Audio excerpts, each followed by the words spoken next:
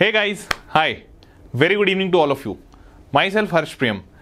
मैं वेदांतु में एक मैथमेटिक्स टीचर हूँ okay and I am in front of all of you to present a new series for all of you that is think hatke now what is this think hatke so i'll just set the context uh, in just one minute think hatke is basically a different and unique concept for all those students who are a desperate lover of mathematics first and for all those students who want to fall in love with mathematics or probably they are not able to find mathematics that interesting.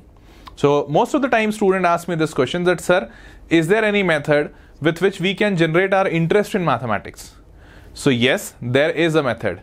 The best method is that you see the brighter part of mathematics and mostly when i say brighter part of mathematics student tend to assume that brighter part of mathematics means they i am saying them to see the easier questions and the most solvable questions like that.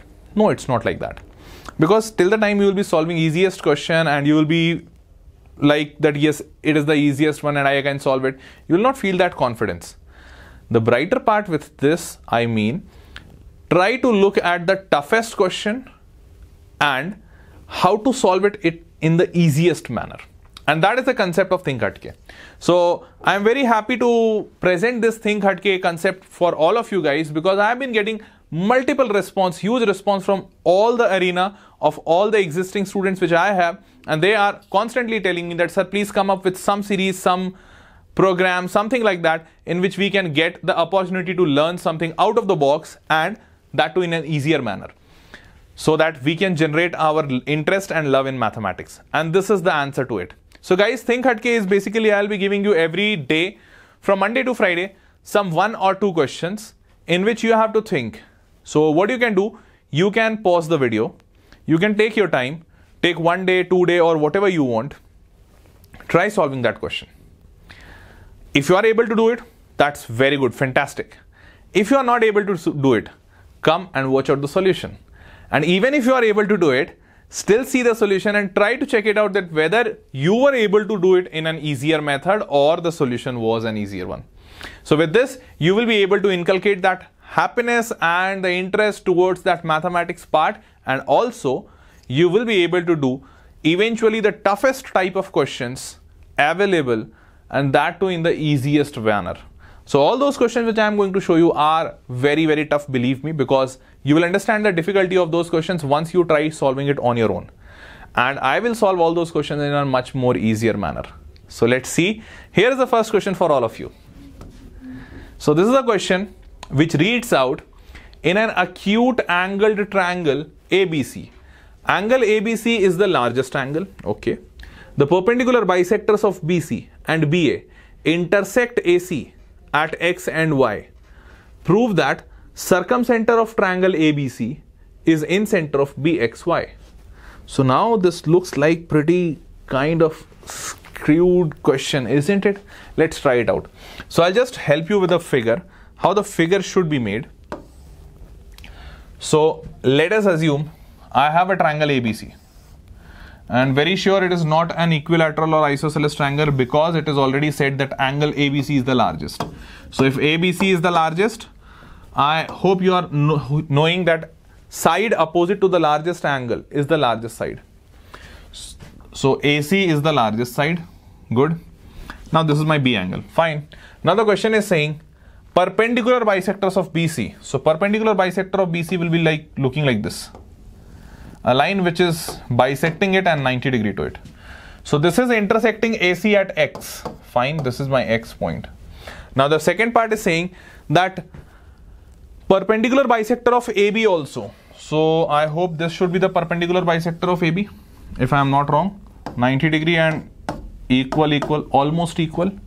So this is intersecting AC at Y so actually here it is not intersecting so I'll just try to make it intersect. So it will extend and I'll extend this AC also. So somewhere here it will intersect at Y. Now the question starts. So till here question was giving the information. So the question says prove that circumcenter of triangle ABC circumcenter uh, circumcenter.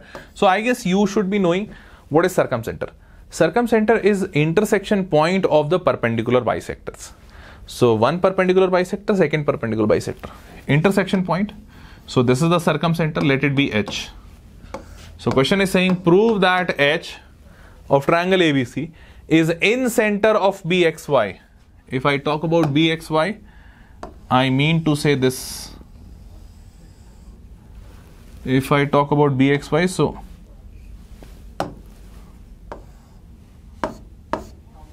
come on. Okay so this is my bxy b x and y. So if i join this this will be my triangle. Bxy so basically the question is saying that to prove that bxy's in center is also this point only h. So now this whole question is completed. Although this much part was not given you had to draw this Okay, so now can anyone give me any idea about this? First of all, let me tell you how it will be solved if you want a kind of hint. So basically in center is that point which is the angle bisector, intersection point of all the angle bisectors. Means if I have to prove that that this point H is the in center of this triangle BXY, then eventually I have to prove that my this line XH is the angle bisector of this angle x. And similarly my this line hy is the angle bisector of this angle y. This I'll have to prove it. If you are able to prove it it's done. Okay. So if you think that yes you can solve it I guess you should have already started solving it before telling me the hint. But still if you still think you can solve it pause it here also and try solving it out. And if not let's see the solution. So what do you think how it can be solved? So the method I already said you gave a hint that it has to be proved angle bisector. So let's try doing it. So if I am not wrong, I'll just prove it as angle bisector. So I have assumed a triangle. This is my ABC. I have taken a perpendicular bisector. Let it be intersecting AC at X, what I had seen. And another line, perpendicular bisector of AB. And this is intersecting AC at some point Y. So this is my Q. I have assumed this perpendicular bisector point as Q. Although in question is X and Y is men mentioned. So now let's join BXY. So I have got this BXY, this triangle. And now I have to prove that my YQ, YQ is the angle bisector of this angle Y and my XP, XP is the angle bisector of this angle X. So how is it going to be proved? Pretty easy man. Let's see. These two triangles will be congruent. Can you tell me how? I guess most of you would have already got it. Since it is a perpendicular bisector, so this side is going to be equal to this side.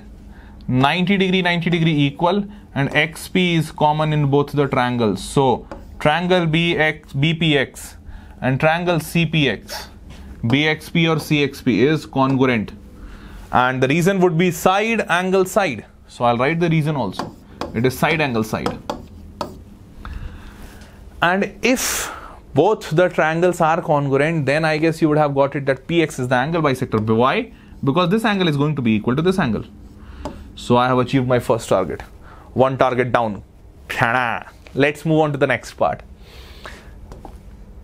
Now once I have proved that this PX is angle bisector in the same fashion I'll move for the Y part.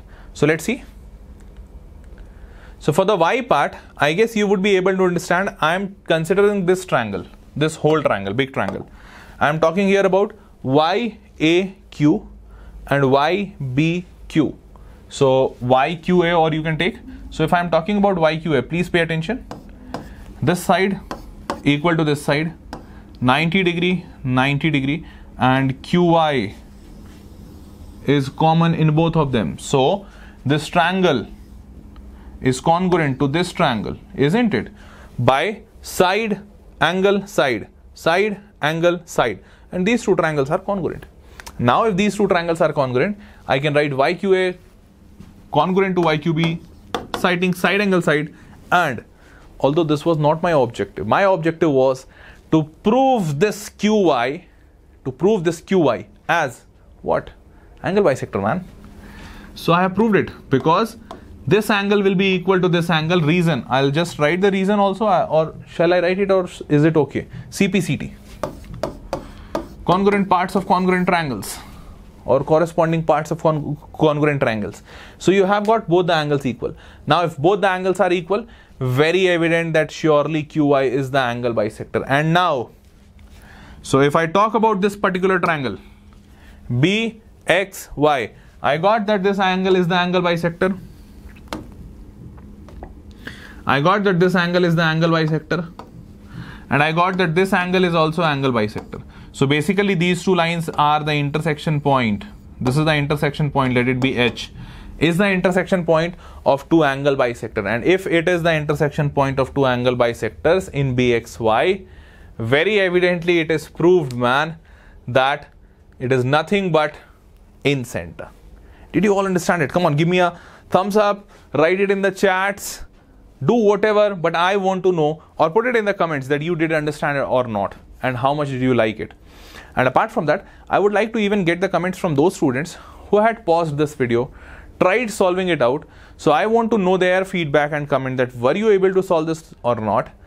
And if not then what were the difficulties? If yes then how much time did it take for you to solve it actually? Come on write it down in the comments so that i can have a communication with you and i can connect accordingly to all you all of you guys and thereafter I can come up with some more new ideas isn't it? Okay so I hope you all understood it. And if you understood I have one more question for you. That's one more surprise. You want to see it? Come on let's see. So this is the next question. Looking like super easy isn't it? When I saw it I also felt the same. That this is a super easy question and I am going to do it so first of all, take a look at this question. Try drawing the figure and then try finding it out. And I am again, this time I'm again betting it out, man. That try anything if you think and try solving it. Just see, are you able to get that answer or not? So the question is saying in a triangle ABC, D is the midpoint. So this is capital D is the midpoint of BC. Okay, let me first draw the triangle if I am not wrong. Hmm. It should be drawn something like this. Why I have made like this, I'll tell you. This is A, B, and C. So the question is saying D is the midpoint of BC. So let me draw the D. If I'm not wrong, this is my D. So now question is saying ADB is 45 degree. This angle is 45 fine. ACD is 30 degree. So this angle is 30 that is also fine. And we have to determine BAD okay cool man. So we have to determine this. Or let it be X. So now those who all are daredevils they need to pause this video. Try solving it out. Take your time. This video is already there and it will be there in the YouTube. So even if you are not able to solve it right now take your time but solve it and if you are able to solve it do write down in the comment. And even if you are not then see the solution isn't it? Let's try it out. So first and foremost what shall i do to get this question done? Because bro i am able to get it only one thing here. That this is an exterior angle so if this is 30 by exterior angle property i can get this 15 but nothing else than that. Because this angle is not known and I if this angle is not known I don't have any I don't look at any point getting this angle. So how to do this? Okay let's try. See. What I can do I can do a construction. So this is my figure. This angle I already got 15 I can do a construction like this. Now this construction is that I have drawn a line from D to P such that this P should lie on AC and such that that this DP should be equal to DC. That is my construction step. So if I have made these two angle, these two lines equal, then very sure you would be able to understand that this angle, this angle would be, this angle would be 30 degree. I'll just show you. This angle would be, this angle would be 30 degree. Why 30 degree? Because both the sides are equal. So if this is 30, this is also going to be 30 degree. Fine. Okay, let's see something more. Now, this is also 30. Now, are you able to understand that this angle will be 60? Why? Exterior angle property. Why exterior angle property? That this is the exterior angle and hence it will be sum of both the angles. So 30 plus 30, this is 60. And if this is 60, this is only 45. So the remaining part, in between part, will be 15. Okay. Now what I did, I have joined P to B. I have joined P to B. Why I joined it? What benefit am I going to get? Let's see. Now you are you able to see that these two sides they were already given equal because D was the midpoint. So BD and CD they are equal. But also I had drawn this DP equal to CD. This means that this DP is also going to be equal to BD. So that what I have written BD equals to PD. And once once I have got this angle equal, I will write it down very smoothly. Please look at it. This is 30, this is 30, so 60. Surely this is 120, angle sum property. And please pay attention, this 120 is the exterior angle for this triangle, triangle BPD. And this angle and this angle is equal. Why? Because the sides are equal.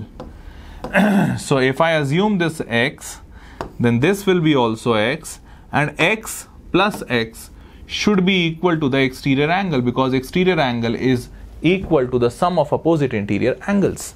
So by this I will get 2x equals to 120 degree which gives me x equals to 60 degree.